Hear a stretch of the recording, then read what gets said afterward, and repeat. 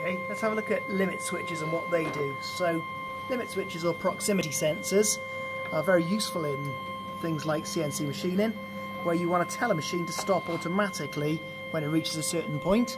So, mounted on the bed is a powerful magnet, and mounted underneath the carriage in certain places is a magnetic sensor. And when the two come close, the machine knows it's reached its limit. There's another proximity sensor on the y-axis gantry and another one that you can see just under here on the z-axis, right on the top there. So it knows now its position based on the sensor readings from those proximity sensors. Very useful indeed.